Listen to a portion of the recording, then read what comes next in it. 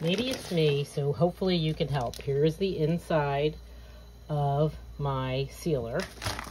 I have chicken thighs that I'm going to put in. I have way more than two inches on the top, as you can see. I'm putting it inside the chamber, not over top of it, like it says. Pressing down, sealing it. I'm gonna use moist because it's chicken. Oh, that's the other thing. Your plug is horrible. I have to jiggle it just to get it to go. Okay, moist, and it starts to seal a little bit. Not much, not quickly.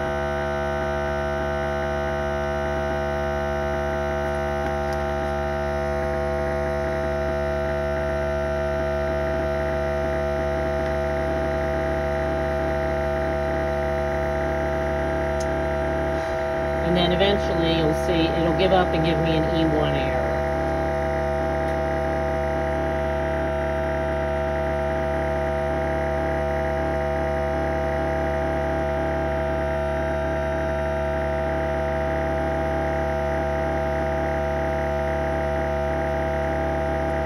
Because it's not really vacuuming and I don't know what I'm doing wrong.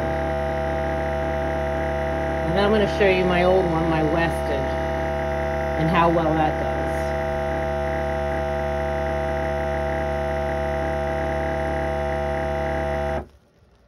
There we go, E1. Okay, I'm to cancel this, take these out, because this is the probably 10th time I have tried to do this. So I'm switching this one out. I'm grabbing my Weston, pulling it up, plugging that one in, unplugging yours, plugging in the Weston. The other thing I like about the Weston is it has an on-off button. Yours does not. If it's plugged in, it's on. I'm putting it into the vacuum sealer, just like so.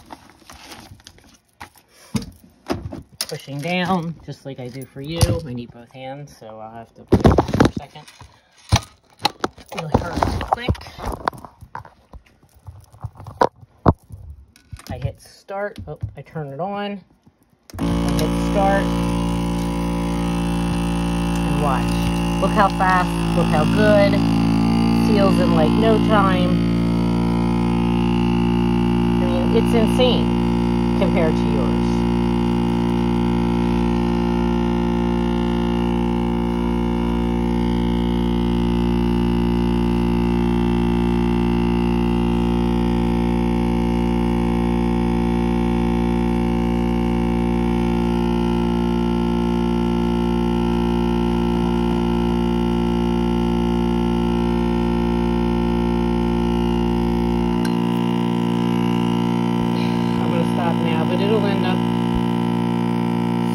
Just fine. All vacuum sealed with no issue.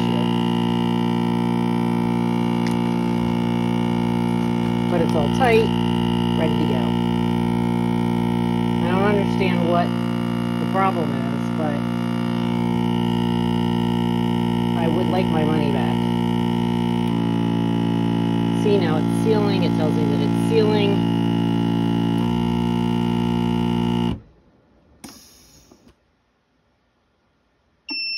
It's done. I unsnap it on both sides. Gotta put it down because I need both hands. It's sealed. Perfect.